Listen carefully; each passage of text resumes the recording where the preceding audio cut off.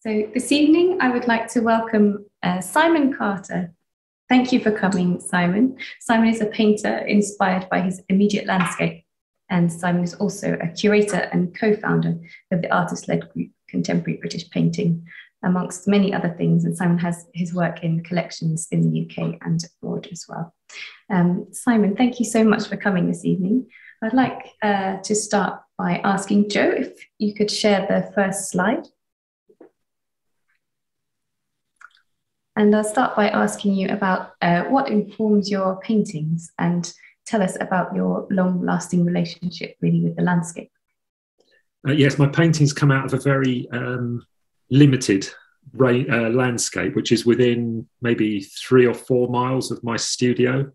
It's on the sort of Essex coast, the North Essex coast, near uh, Frinton, Walton, Clacton, around there. And um, I suppose, in a sense, it is a very limited landscape. But because of that, I know it very well. And it becomes, I think, to me, like, um, like having a library of possibilities. So I can go into the landscape and find painting possibilities out there in the landscape. And is this the area that you grew up in as well? Have you always been in this landscape? Yeah, it is. It is. I haven't ventured very far. I don't think our family do tend to venture very far. Uh, my father's family uh, farm um, near Little Clacton, which is only about six or seven miles away. And I grew up in a house which is probably about 400 yards, 500 yards from where I'm sitting right at the moment. And this is only where, where we live now is only the second house I've ever lived in. So I feel very rooted in the landscape. And this is a landscape I've known since I was little. Mm. And what is it that um, gives you inspiration to keep going back and keep being inspired but by that the kind of i guess it's the same content really.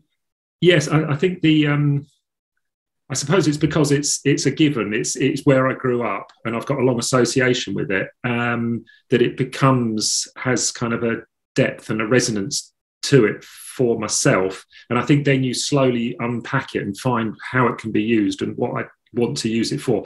I mean i, I like being outdoors. I like um, i've always um, I've been like a lifelong bird watcher and I, I, just like being outdoors. But then you begin to realize that you can actually use the landscape that you inhabit. So, and I, I think this um, coastal tidal landscape, in a sense, is very close to the state of painting because it's being constantly painted over and revealed and painted over and revealed. So there's a there's a very painterly and it, and it is a flat plane. There's not it's not interrupted by lots of things, as you can see from this photograph.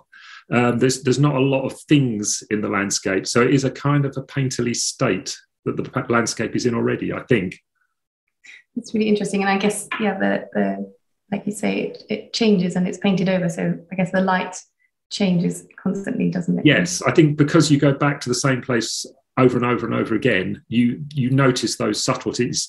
Um, it's not a land like in in the autumn. Everybody talks about the colours of the leaves on the trees and things. I mean, as you can see from this photograph, and, and I think in the next one as well, there's there's there's not many leaves on the trees because there's not many trees.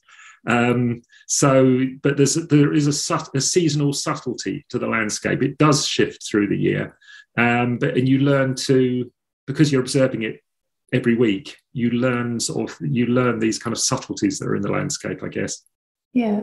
And i, I read on your blog and you uh, uh, kind of mentioned perhaps a difference between a, a, view and a moment which i found quite interesting. Oh yes. So what did i say? I'm intrigued now. What did, what did i say? If you if you i think one of the things i try and avoid in painting is painting the view. Mm. so it's um, i always think they are when I go into the landscape, for this image, for instance, is um, I've been working on this. I think towards the end of the slides, there's there's some paintings of this um, image, and I like this because it's a little box. It's a little sort of square shape. You have to walk round. There's a seawall that comes in from the right of the photograph, and you walk round to where I'm standing, and then continue off and walk along the left hand side. So there's this little box of water which fills and fills up and empties each of the tides, and so it's like rather than it being a view, it's an idea, it's a painting idea which develops from the landscape. But I'm not sure that's exactly what I blogged about. Oh, yeah, no, it's fascinating. Thank you. and then, um, Joe, can you move to the next slide, please? So, um, this is uh, an image of your garden, and this came up uh, because of an earlier conversation we had. And um, your garden does feed into your work. Uh, and I think you had a friend who you were speaking to um, who said that they like the idea that your work informs your gardening as well.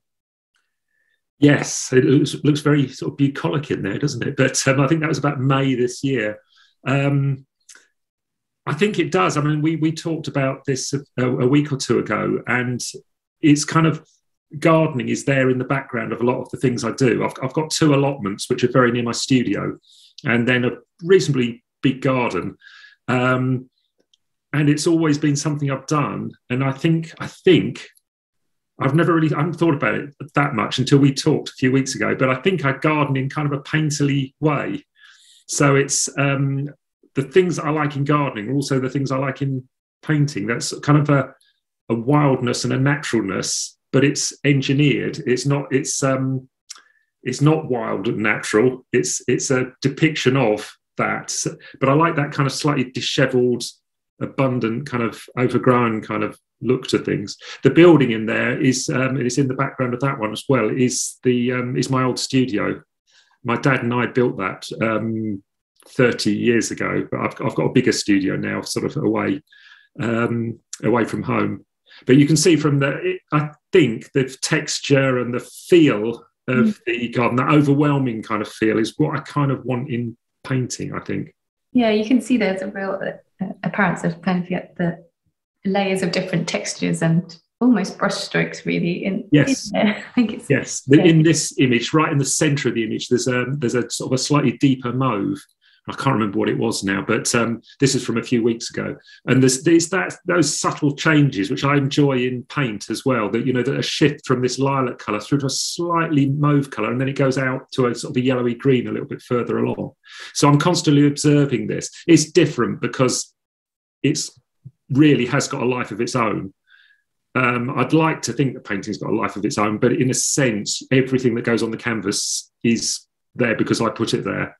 A lot of what happens in the garden is sort of just serendipity, I think, and then you sort of you decide to go with it or not. Yeah, yeah. Thank you, Joe. Can we move to the next slide? Thank you. So, um, yeah, I think we'll go back and talk about your early influences, uh, really. Um, um, yes, I think when um, I mean, growing up in East Anglia, and I'm only 20 minutes probably away, 25 minutes away from the Dedham Vale, um, um, you, you, inevitably, Constable is kind of there in the landscape. And I think um, I, I, remember going to college, uh, to art school in the early 80s and being slightly embarrassed that I liked Constable because no one seemed to be interested in what Constable was doing. It wasn't until sort of Lucian Freud put on that exhibition at the Grand Palais that um, Constable was kind of reassessed as, an, as a painterly painter, I think. But uh, Constable has always been there, and the other the other artist that early on that I really um, spent a lot of time looking at was uh, Van Gogh. Mm. And I guess looking back at them, they're both quite accessible, but they both have got a very visible surface to the paintings. You can see what's been done to the surface.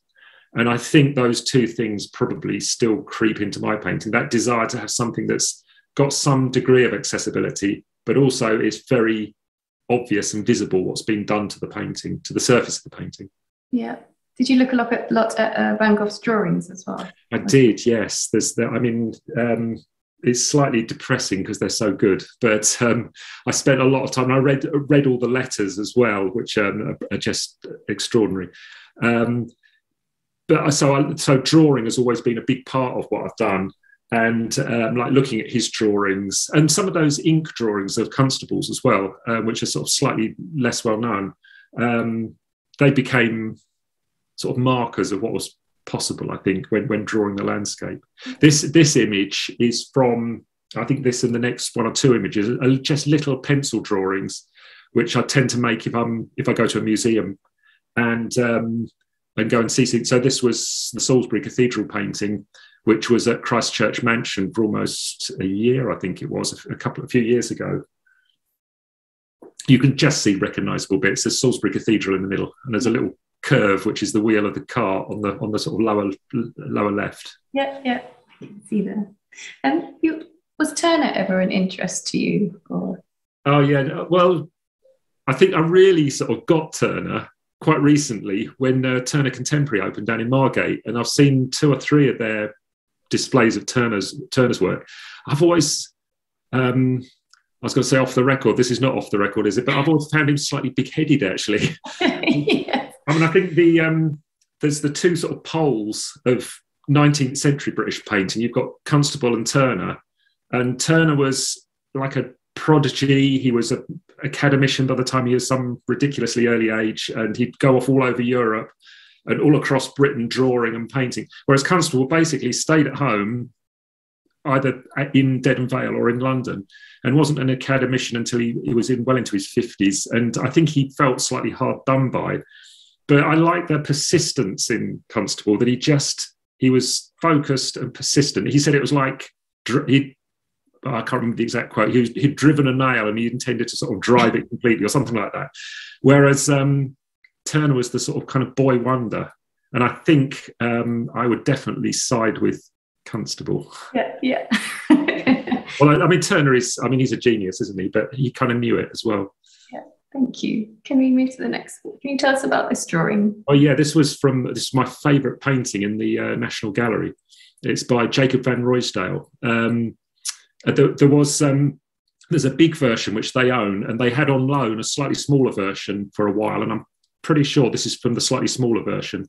But it's just a marvelous sort of marvelously constructed painting, but it is also very East Anglian, even though it's sort of a Dutch painting, which just makes you realise that the um, the the coast, the North Sea coast, um, there's there's a kind of um, there's a North Sea rim kind of look, which it takes in northern France and Belgium and Holland, maybe even uh, Denmark, and then um, sort of North Germany, and then East Anglia. So there's this there's a family kind of resemblance between a lot of the, the art there. Yeah, thank you. Um, we'll move to the.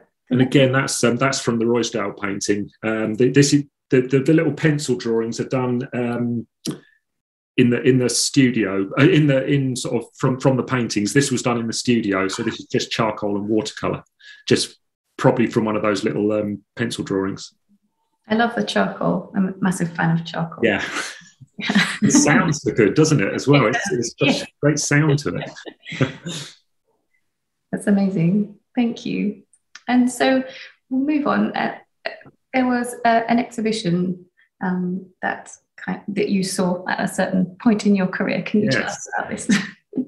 yes, this was. Um, I went to. I was at art school between 1980. Well, in London, I was there between 81 and 84. And in 1981, there was the, at the Royal Academy there was the New Spirit in Painting exhibition, which turned out to be quite seminal. I don't think we knew it at the time, um, but we went to we my, my fellow students and I we went to see it and um, I'm not sure I even liked a lot of it at the time, but I think now looking back on it, I realised that it was actually quite an important exhibition to have seen and quite influential in my sort of thinking and my own work. And this is this is an Anselm Kiefer um, painting, and I can't remember what it's called, but um, I, I remember I distinctly remember seeing this and sort of standing right up close to it and being amazed by this um, clotted sort of burnt looking surface. And right along the horizon, there's there's um, there's a rhyme written along the horizon, which is a um, German marching rhyme or something. I can't even remember what it is, but it's got it was like presenting landscape, but also it was layered with history as well. So it wasn't just it wasn't a view. It was it got this other deeper yeah. resonance. Yeah it gives a, an amazing sense of space as well, doesn't it? It does. It does, and I think um, that was one of the things. It's, it's just a flat plane. There's, I mean, there's a little, few little things happening out on the horizon, but it is just one flat plane. So it's it's the way that landscape equates to the painted surface, and mm-hmm. I think that's what I, I liked in that at the time. And it, it was it's um, for Kiefer, it's quite a modest scale. It's sort of you know the size of a tabletop rather than the size of a barn. Um, I do. Um, um, I prefer a little bit of modesty in painting. I think. Yeah, the next one um, is um, this is George Baselitz, um, and I know I know he's said lots of odd things and that, but he's he was the it was the color that he was using, which was this high key color, but it was very odd kind of Northern European colour as well, Mm. and this very um, aggressive kind of uh, um, expressionist kind of drawing in it that was almost like not drawing at all. I'm, I'm never quite sure whether this painting was actually in the show or not. I, I, I thought think I remember seeing it, but I mean, you think you remember all sorts of things from the past. But he was um, he was one of the painters that kind of not that I liked, but that kind of shoved me along and sort of in, in my thinking. This 1980, early 80s was when Nicholas Serota was at the Whitechapel. And uh, the Whitechapel was just down the road from, from the college I was at. So it was our local gallery. So he was showing all of these um, sort of new painting painters at the Whitechapel. So we saw a lot of like Baselitz Kiefer and the, and the sort of the Italian guys and, you know, all, all, all of those. Brilliant. And it is, he also does a lot of layering of, of color as well. Yeah. Is that is that part of what you liked about that kind of I, I think I just like the way he sort of like put the paint on um, with in a slightly sort of um, offhand kind of way, very sort of unsophisticated way in a sense, but it added up to something that was that was grand and powerful. It, it wasn't sort of um, there was no technique that you had to kind of figure out. You could see everything that he'd done to it, yeah. but there was a like an emotional intensity um, that came through that. Yeah. Going back to the Whitechapel, was the Whitechapel open uh, on, on at that time? Was it? Um, I don't. I'm not sure. Actually, it probably was. I, I don't know. it, it probably was. Thank you. Um, we'll move on to the next. So, um, drawing plays quite a major role in, in your process. And I was wondering if you could um, tell us how drawing plays its part really in creating your paintings. Yes, I think drawing is probably um, it, it's definitely the starting point for everything I do. But I think it probably is much more than that. In the the way I paint, I think has got quite a lot to do with how you draw or how I draw. So the drawing is like embedded in the whole process of um, how I how I think about painting and how I go about painting. So I all of the paintings start with um, from walks I take in the landscape. So I've got certain routes that I go through the landscape at various times. Um, and I take um, it's all very basic materials. So I take a block of A4 paper and a few crayons, graphite sticks, sort of very basic things because I don't want to be loaded down with things. And these these are the kind of drawings um, that I'll be making. And you can see from the little dates scribbled in the corner, these were all done on the same day. So I'll probably in any one day, in any one walk, maybe make I don't know, 10 or a dozen drawings but very often of exactly the same thing. So the two on the, the, the, top left and bottom left are both of exactly the same thing, maybe just moved one step uh, to the left. And the um, and I mean the, the, the drawing at the top right is a, a sea wall which has sort of got washed out and all the slabs are laying on the beach. And I've made drawings of that over and over again. So I'm going back to make I go, go out and take the same routes, draw the same things and bring them back but it doesn't um, you find new things every time you look at something something else is there you can't ever sort of draw up draw out everything from any any one subject. And you get to a certain point and you think all right well I've, I've done that. I know everything there is to know. And you wait a few months and go to get walk again. And it's and it's it's like it's like you've never seen it before. It's sort of a whole new thing. So it's drawing is how i kind of see what I'm what's before me, but it also is how it's brought back into the uh, into the studio. It's a collection process. Yes, I, th- I, I, I, always say it's it's like um, I'm painting the landscape, but mediated through drawing. So in a sense, I'm not painting the landscape. I'm actually painting the drawings. I think that's what I'm doing. I was going to say as well. What what do you do? You think there's a difference between painting and drawing, and where does that lie, or do they? Is, is there a line? Yeah, that's um because some some of the paintings I make are just monochrome with sort of you know they're made with drawn lines but drawn with a paintbrush. So I tend to think that boundary is very blurred. Mm-hmm. Um, but one one of the differences for me is that the drawings are the, these kind of drawings are done outside, and the painting is done in the studio. I always think painting is a studio based activity. I don't like painting outside. No. um, I, it, it's partly because of all the stuff that you have to carry, but it's you've got to make all of the decisions before the canvas under unnecessary pressure. I think it's, it's a much longer process painting for me, and I need to do it in the studio. Yeah. And do you do you go ever go out with uh, kind of watercolors or inks or anything like that? I used to I used to paint quite a lot of watercolors outdoors, but Mhm. even that, although that is quite light and kind of you can respond quite quickly to what you're seeing, even that I find I found after a while it was sort of um, not helping me see; it was getting in the way of me seeing. Whereas now, I think carrying carrying an A4 pad with you, you you can just you can just stop wherever Mm. and draw and you can you can just experiment with things or how things are put down um, how things you think they might look you can you can really push the boundaries with a drawing and you're not committing a great deal Mm. um, you know of time or anything to, to it Yeah. which i quite like because it gets you out of your own head when you're working you can be quite direct with it, I guess. Yeah. very yeah that's what i try and be i try and be very direct so these um, the next uh, drawing and, and the one we'll see in a minute after this these are done from the drawings that i make outside so this one is similar to the one that was on the top right of the little grid of four um, it's these big slabs that are laid out on the beach sort of had the, all the interior of the seawall has been washed out and um, i suppose what then happens in the studio through a process of just starting painting and through a process of making more drawings, you're trying to figure out what it is you've got, what information you've got, how it can be constructed, and how it can go towards making a painting. A painting has got to be, you've got to consider it side to side, top to bottom. It's got to fit into this shape and it's got to sort of work and balance and I don't know, all, all the work that any painting does.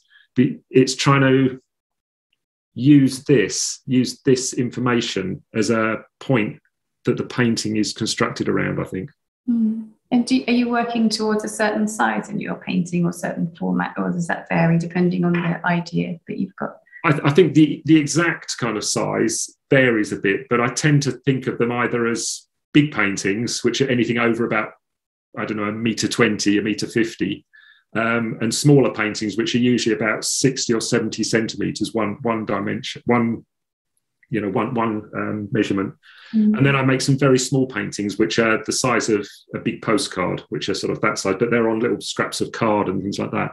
So they're either small, medium, or large, but um, they tend to sort of suggest what they ought to be when, once I've got an idea for the painting. Yeah. Thank you. We move to the next slide. This is another um, drawing. The- This is again from the seawall. They've shored up the seawall with these gabions, these steel mesh gabions, which are filled up with rocks. But the sea has sort of unpicked the gabions, and the rocks are gradually sort of coming out from them. And then the gabions are then compressed into really fantastic shapes. Um, so this is sort of like some slabs and gabions and things like that, um, sort of around the edge. So the slabs around the edge and the gabions are in, in, in the centre. And is this deconstructed from the previous drawing, or is it a deconstruction of? It's, Um, it's probably it's from another drawing, but um, of, from another set of drawings. Um, but there's a particular point that these things come together in that way. So I think all of my drawings and all of my paintings, I could take anyone out into the landscape and stand them in a particular point and say, right, this is it. You can see that line is that piece there. This line is this piece. And so it kind of, I don't feel I want to take liberties with how the information that's out in the landscape. I want to find some way of putting that information into a painted Mm. form. Mm. Thank you. I really love these drawings, uh, by the way. Thank you. And so I think we're going to talk about um, materials and, and the way that you use them. Um, can you tell us about your love for paint? yes, I think. I mean, it, it. Um, I know. I know. There's one or two artists I've listened to interviews to, and they said they don't really like the paint. They don't really like the stuff of paint. And my, I think, well, just well, don't do it then. No one's asking you to do it. You know, if you don't love paint, I don't see why you would bother to paint. Because I think painting is such a fantastic thing to to do the way. I mean, there's all sorts of things color does, the way it layers up, the way you can sort of mine other colors out of it, and the way that, that kind of lovely surface you can get with it.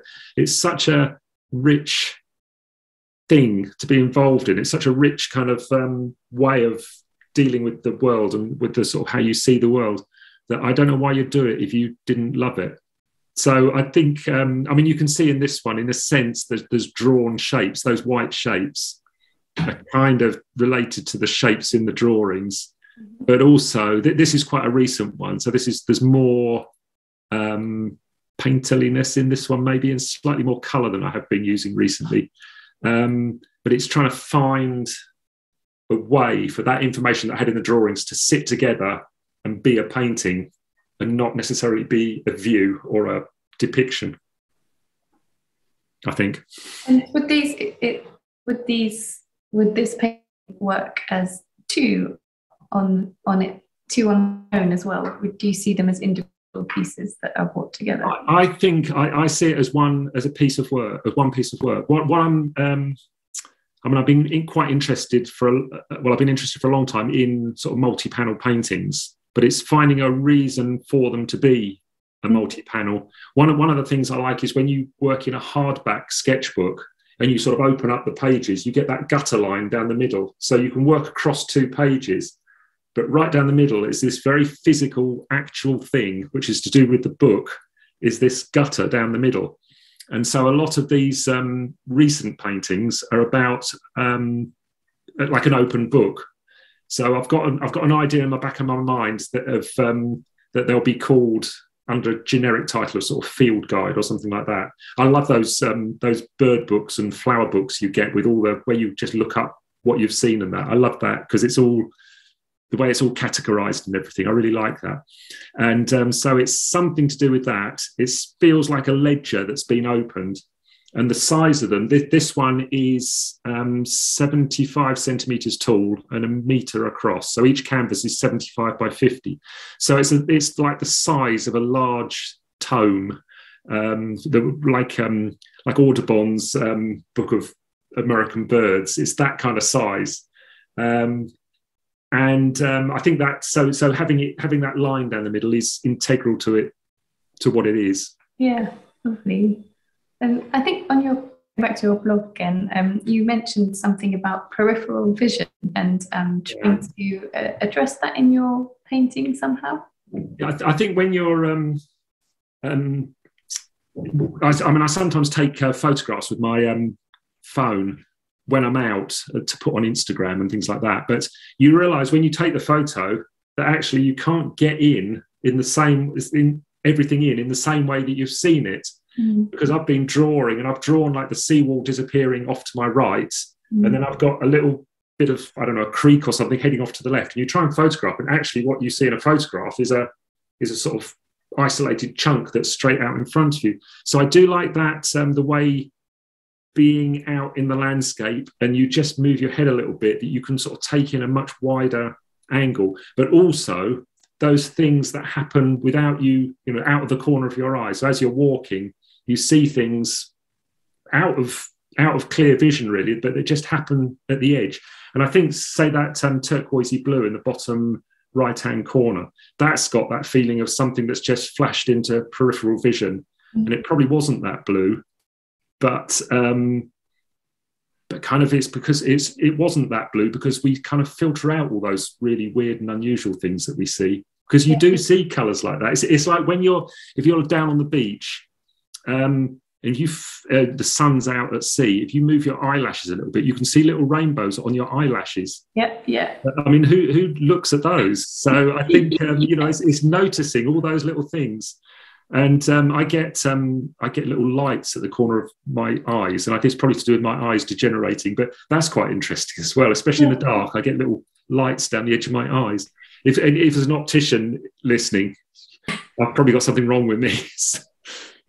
Yeah. Do you have you found obviously you've been looking at colour for forever, but um, do you still like did you find and do you still find that your observations um, are are changing?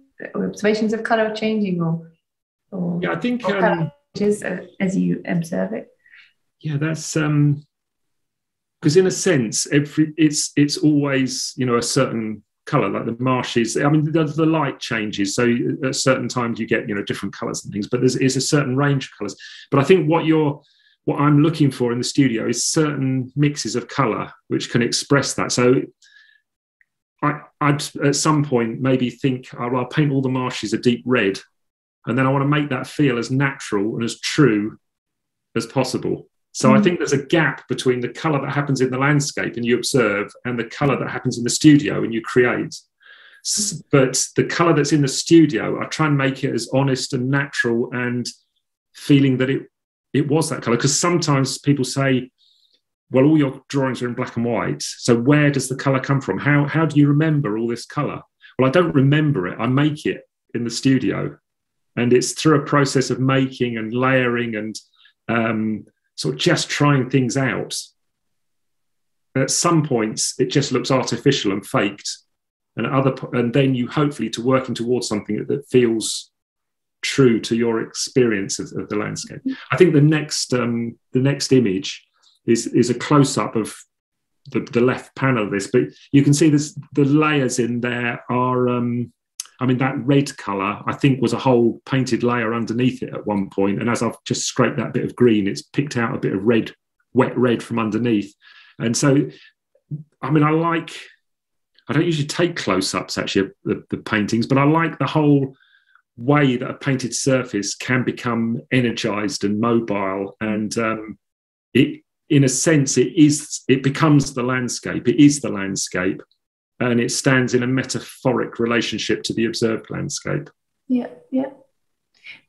Do you just use brushes to apply your paint, or do you do you use other tools as well? The uh, I usually just use a very limited range of brushes. Um, but more recently, especially with these paintings, I've been once once the surface is up and sort of mobile, I then tend to push it around a bit. So I think these green marks at the bottom would have been sort of just pushed around with a palette knife.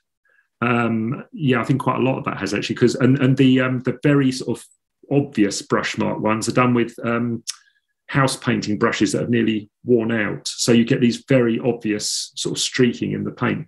So mm-hmm. it, especially in these paintings, I've tried to expand a little bit the um, repertoire of kind of marks that I'm using. Thank you. Looks like lots of fun seeing that those yeah. that close. I, I, what I like is when you get go in the studio in the morning, you put a fir- you put some paint on, and you and you think, well, this is this is never going to be a painting, and you just try things out, and it, it, there's a, there's a level of frustration in painting, which is a positive thing, I think, but you because it makes you push further and further. So. Uh, you know, by say you start at eight in the morning, by about half past 12, you've painted everything orange because you can't think of what else to do. And then you sort of scrape that back and maybe you paint it white by about two o'clock. And so you're going through these drastic things that you're doing to it in the hope that somewhere along the line it turns into something, it becomes something other than just paint.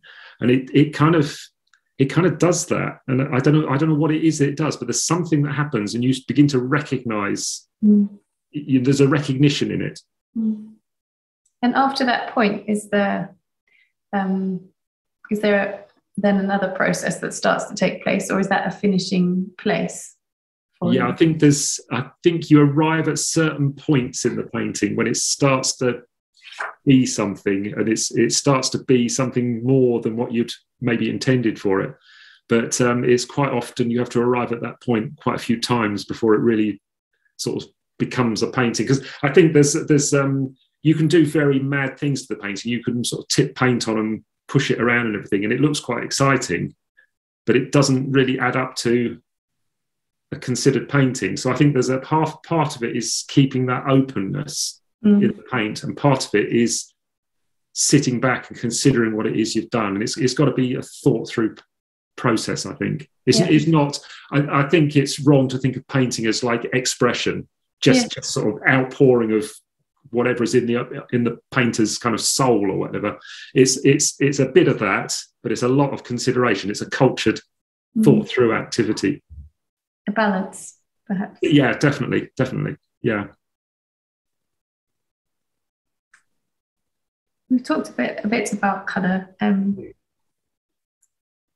and and the way you use it. Is there yeah? Is there a particular way that you would say that you would use color? We've kind of touched on it a little bit. Um, I think with um, I do I do like all over kind of things. So quite I, I do quite enjoy sort of painting everything one color and things like that. But but it's it's part of a very long process. So so I guess this image, I mean, it's really painted this old gold kind of color, which is a bit of a discovery for me. It's it's burnt umber mixed with cadmium yellow, which goes to this slightly odd greeny kind of depending on the proportions. It goes sort of this odd greeny kind of color. And I have used it a lot over the last three or four years. So I'm consciously trying not to use it at the moment. Um, but even though it is almost all that mix, there's little bits which I've tried out and sort of then edited out. So there's a dark green like in the middle and up the top left. There's a there's a sort of like a gingery brown at the top. Um, so there's I like the way things get left over in a painting. So, you know, you might have tried a bit of turquoise and there might be a little sliver of turquoise down the one edge or things like that. And, I, and I'm constantly in, I'm constantly thinking that I want to trying to push it to be more coloured mm. and then sort of then hold it, then reining it back so it also feels true. Mm. Thank you. Because I think the next image is actually um, more recent, the same view the same kind of um, there's, there's, an island the, that shape across the top yeah. it's an island out in the marshes and there's um, there's a bunkhouse which is that odd shape on the right hand side. Um, there's a bunkhouse out there and there's a guy used to live there until not many years ago. And it's completely isolated. You can only get to it by by a boat. And so i like that shape because it seals off the top of the painting mm-hmm. and then in the marshes you've got this channel which comes down the right hand side across the bottom and then up the left hand side. So it kind of it does everything a painting should do. It holds in left and right, it holds in the bottom, and it's got something to seal off the top. It's such a great kind of. I think I could probably paint it for years, but I'm trying not to just repeat myself. um, but this this color has come up, so there's that old gold kind of color in there underneath, yeah. and the dark green, and yeah. then I've um, in, in, the marsh, there's this um, un, there's a, there's an undertone to a lot of the time, which is a warm kind of brown or red or orange, which has like an undertone to all of this going on. But so I've I've pulled that out as from an undertone and actually just floated these shapes on the top just to see what would happen. And it, I hadn't intended to leave it, but um, it kind of worked, and so I just left it.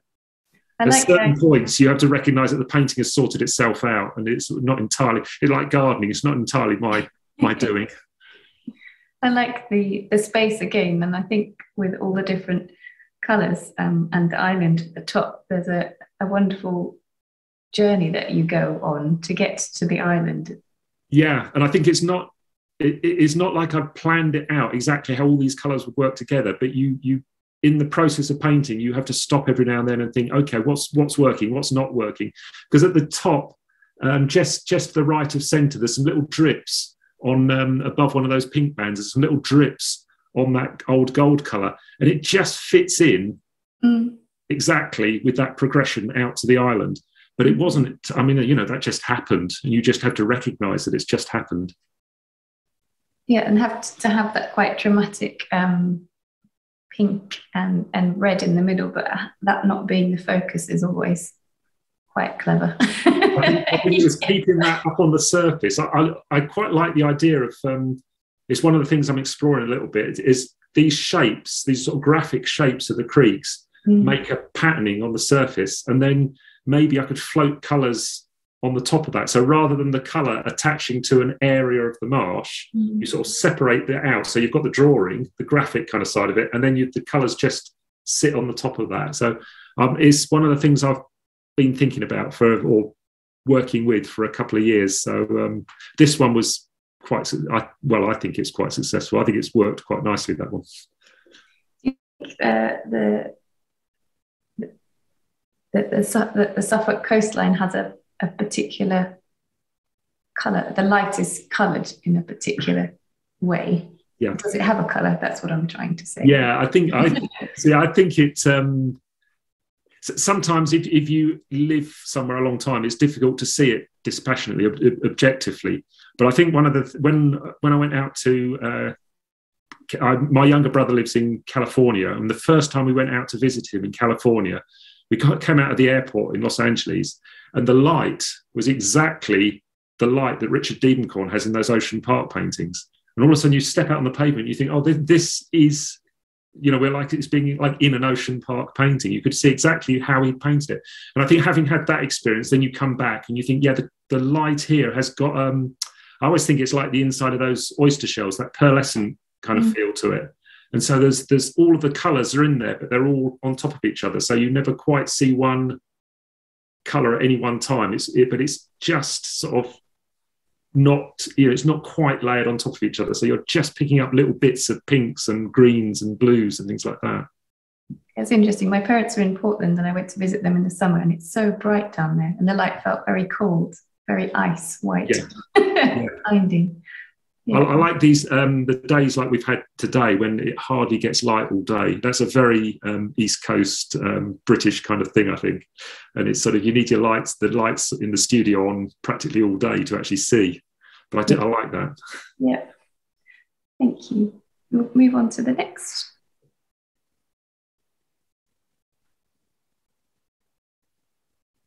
Yeah, you're going to trip me up with this question because what, what we discussed about what makes an honest painting. yeah. So what makes an honest painting? What makes an honest painting? I don't know. I think um, I think that is what I'm heading towards. Um, again, this is this is the same. Um, this is the same island across the top there. This is, I mean, it's moved along about hundred yards to the right along the seawall. Um, and, and what do we mean when we say a painting is honest? What what I think it is about is making it feel as if this is what the landscape was like. So it make it's a, like a true metaphor for the condition that the landscape was. Because it wasn't um, like there's an area of like baby pink there on the right hand side near the top, and this bright yellow at the bottom, which sort of balances it out. And there's an area of sort of uh, vermilion on the left hand side. And I guess those colors weren't actually there but it's like in the painting process, the painting kind of demands certain things and you try certain things out, and certain things you do feel true. So I guess that's being honest because I'm not I am not imposing on it a like a former, like a way of thinking about something. I don't want, want to impose it on. I want to find it from the landscape. So I want the landscape to give that to me, but also you know that it is, is I think Matisse said this. He said, when you're painting, you've got to believe you're telling the truth. And when you step back, you've got to know that you, you aren't. Or something like that. He probably said it more articulately and in French. But, um, but it's that kind of dual thing. So you've got to try and tell the truth, but also realize that you're not telling the truth. Yeah. I'm not sure that answers the question, though. I guess you would want the, the landscape, yeah, to do just to uh, for the for the landscape to agree with your choices. Yes, yes, and I think it, tra- but it transcends the landscape as well. So because um, I had a conversation with someone just in the in the street this week, and they were saying, well, maybe people need to understand the landscape to be able to understand your paintings. Mm-hmm. And I mm-hmm. think, and I've thought about that, and I think no, that's not right. It's the other way around.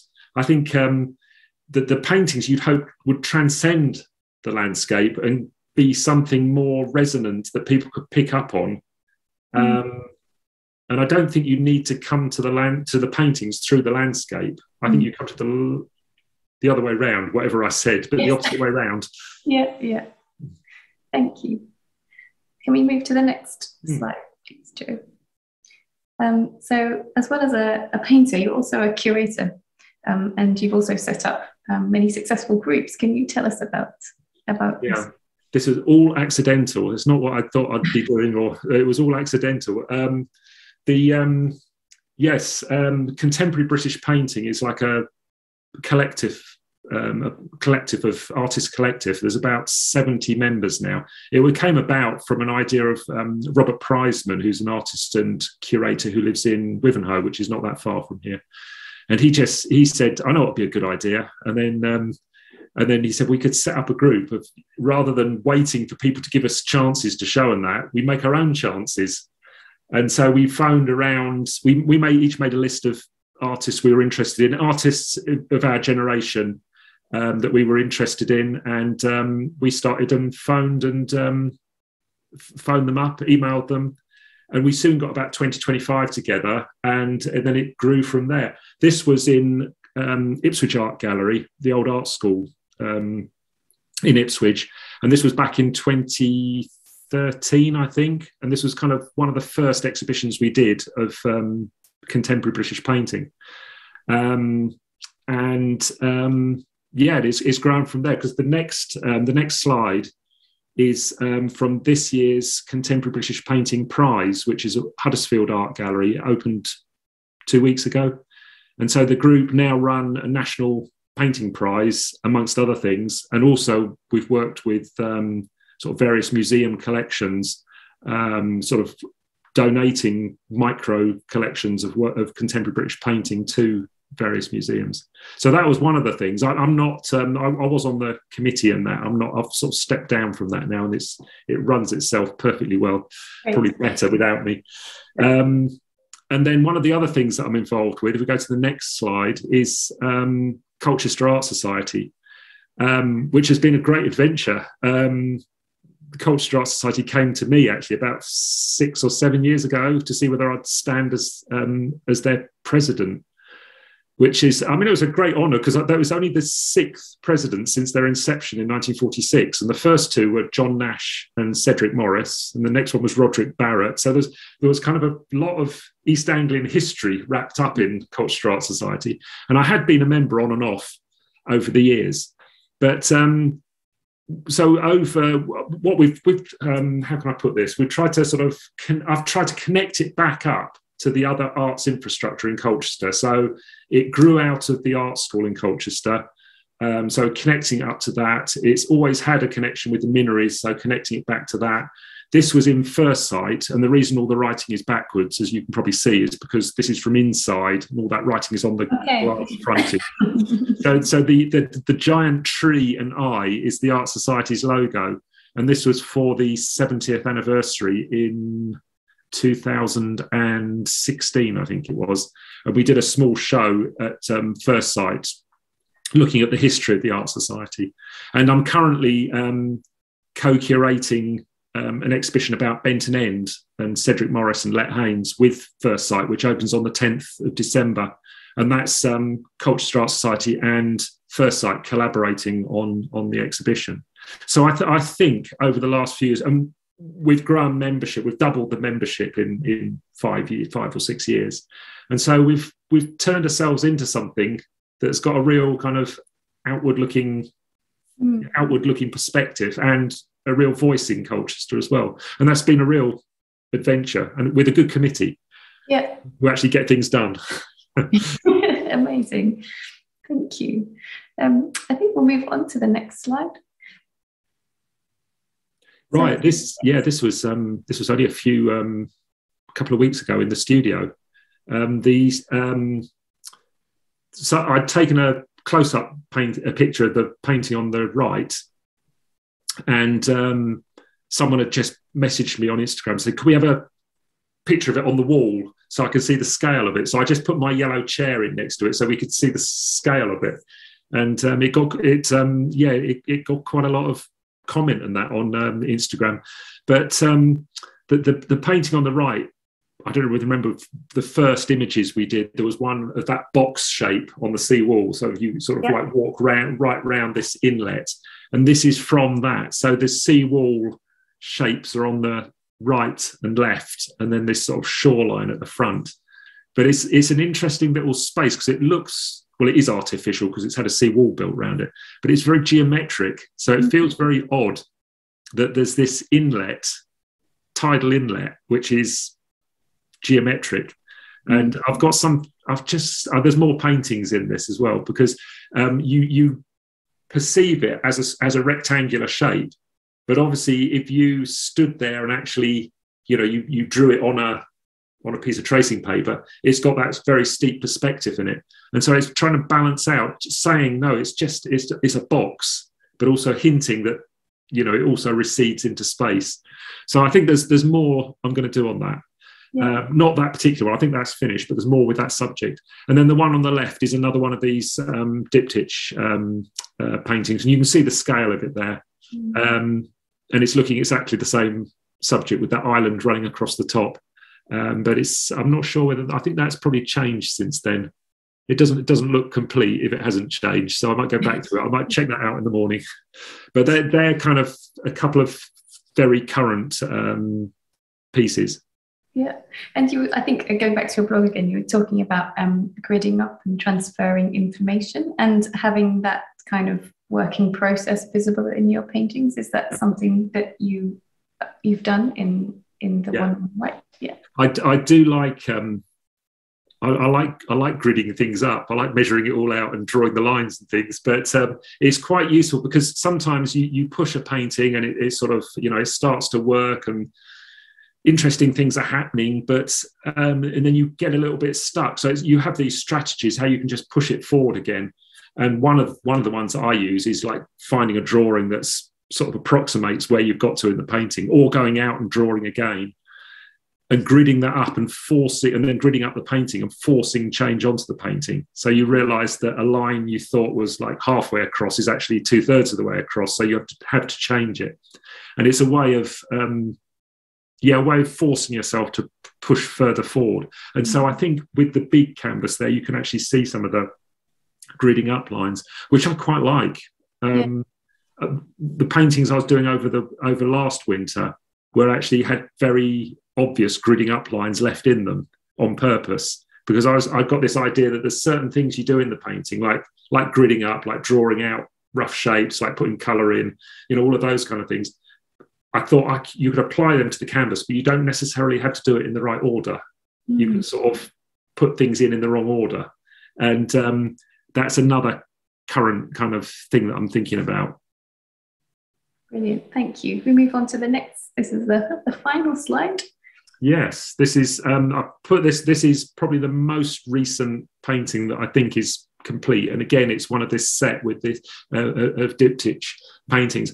And um, I, I, was having a look at this one today actually because I've got an exhibition coming up just after Christmas, and I think it might be this one that goes in for it. But um, I just like with this one where you open that, you know, you you open a book up and you've got information that reads on both sides, but they might not quite match up graphically. And so I like how the join in this one is an internal edge. So things operate with the left and right and top and bottom edges, but also you've got this internal edge where things transfer from the left side to the right side or vice versa. Mm-hmm. But it's still the whole thing still hangs together as one image. And the scale of the marks in this, I was quite pleased It's not a great photo actually. Is I think that grey on the bottom right is a bit out of focus, isn't it? But um, the um, uh, the scale of the marks just worked on this one. Sometimes you just do a painting and for some reason you you you don't understand. It just works. And i think this is one of them. And it worked quite quickly for some reason. I don't know why. You struggle for three or four paintings after that to get anything near it how long on average do you take or is it just so variable that you well well the big in the previous slide that big painting on the right hand side i've been working on that for probably 18 months sort of on and off, sort of repainting it. It's it's looked completely different through that time, you know, in various guises. I, it's stuck with the su- subject matter, mm. stuck to try and understand and, and and use that subject matter. But that that has been rather a long journey. But this one, I I, I don't know how long. Probably three or four painting sessions over maybe a month.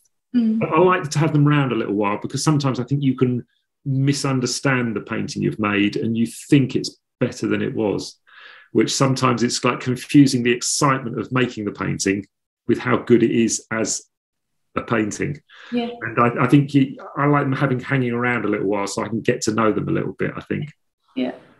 Thank you. Thank you so much. So I'm going to open it out now um, to questions. We have a few questions in the chat here. So I will start at the top.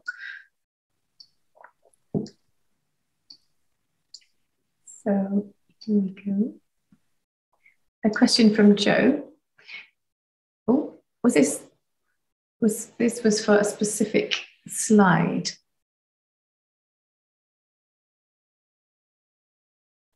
It said, "Did you just?" Joe says, "Did you choose this landscape, or did it choose you? Are you from the area and therefore have had a lifetime of seeing this landscape? Yeah, I think I think the landscape chose me. I think that's a nice way of putting it. Actually, um, there was um, an essay. Peter Vergo, who's um, he was he taught at Essex University. Professor Peter Vergo. He did an essay on me uh, several years ago, and he said he asked that question, and it was the first time I'd really thought about it. And um, so he said, if you'd grown up in Cornwall or Goa or somewhere like that, you'd have painted that. And I think, yeah, that's probably true. I think I just accepted where I was mm. and then found out how to use it. Thank you. Um, there's another question from Ruth. Do you scale up your work? Yeah, that's interesting, isn't it? Because I think work op- operates at certain scales. I, I like the um, like with the pencil draw, you know, like a, a graphite stick on an A4 pad of paper, the graphite stick has got a certain scale in relation to the whole paper. So there, there is a degree of scaling up, but it's kind of it's not direct, and it's it's kind of um, it's trying to find the right scale of marks and areas and shapes for whatever surface it is that one's working on. I think the danger with painting things that are very little and these these postcard paintings are painted sort of that size, like a double sized postcard.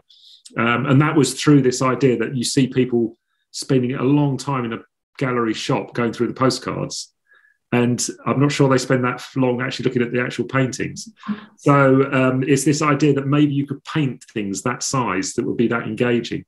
But the danger is then you just scale down everything and you're painting a miniature. Whereas what I'm trying to do is find the marks that will sit on piece of paper that's only I don't know what 15 by 20 centimeters. Mm. So its scale is very important, but it's not a case of just scaling up and down. I don't think. Yeah, that's really interesting. Thank you. Um, there's a question from Emma. I think it was to do with a particular slide. It says Emma says there looks like there it looks like there are two figures in the right foreground. All right. Okay. I don't know which slide that was. Um, in I mean, I do put occasionally figures in, but I tend to not have figures in the painting because I, I tend to think that it's the observer or that it's either the artist or whoever's observing the painting that is the figure in the landscape. Okay. So you relate to it in, in a same way as maybe you'd relate to a, I don't know, a John Hoyland or a Gillian Ayres painting or something like that. You'd relate to it as a viewer and a surface being viewed. Mm. But, um, and I tend to think that putting a figures in kind of makes it a depiction. But mm. um, I, I'm, that's not very thought through because I do put figures in occasionally. I think it was addressing this slide. Actually, I've just seen in the chat. So um, it was about this this piece in front of us here. Oh yeah, because that grey piece on the right, I suppose it yeah. could act in the in the way a figure acts in the in the uh, landscape. I hadn't really thought about that. Yeah. I like the idea that because so, sometimes when, when when I had the studio at home, um, or down the end of the garden. I had the wall in, in this room. This wall would be where I'd hang the pieces I was working with. So I'd bring them in, try them out in here. And this is when my boys were little. And they'd be forever seeing like a squirrel or a deer or a tractor or something in the painting, which is completely unintended. But I think after a while, you realize that the human eye just wants to recognize things. So you start seeing things in mm-hmm. shape. Yeah and I think you just embrace that and accept it. It's it's kind of there. I think if you've in, if I've intended this painting, this slide to be like this, if someone else sees a figure in it, that's maybe it enriches it rather than di- diminishes it. Yeah, thank you. And there's one last question from Johan, and that is, uh, where was your favourite studio? All right, I, I, really like the one I've got at the moment. I've not had many studios. I mean, you'd be surprised to know. So um, when when I first um, when we first got this house, I've, I've lived here for since 1986. Um, we used the front. I used the front bedroom as a studio. It was very small. It was only about 11 foot square. And then for a very short time, I had a, um, an outbuilding at my mother-in-law's house down in the next village. And then my dad and I built this studio across the end, which I did really enjoy um, having a studio at home in the garden. So it kind of brought everything together. But the studio I've got at the moment, it's, a, it's only a mile away from here and I've got it's 20 by 30 feet twice because it's on two floors. So I'm very fortunate to have a very big storage area downstairs, which Everybody else in the family seems to store stuff in as well, which I've got to have words about that. And then I've got a lovely painting space upstairs, which has got a nice bank of windows out to the east. So the light is really good, and it's it's just like um, it's my second home. I spend a lot of time there, and I really do like it, even when it's cold. and it's, it's, about two minutes from the sea, so it's it's in Frinton on Sea. It's about two minutes from the beach, so it's not bad. Lovely, sounds amazing. and I think we will end there. So I'd like to say a huge thank you to Simon. Thank you so much. It's been really wonderful evening. I've thoroughly enjoyed uh, talking with you and learning about your work. It's been brilliant. And thank, thank you, Joe, in the background for all the technical assistance as well.